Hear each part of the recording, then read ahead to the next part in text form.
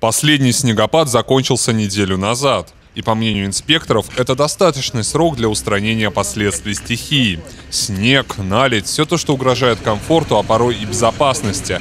Выбор двора для проверки был случайным, результат предсказуемым.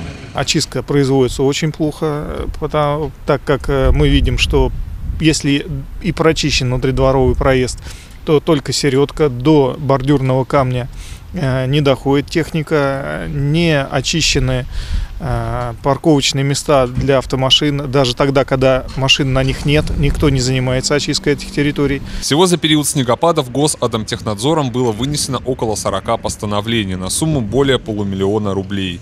По результатам сегодняшней проверки нарушителям грозит санкции в размере от 15 до 70 тысяч рублей. Григорий Козлов, Александр Тестов. Новости Латкарина.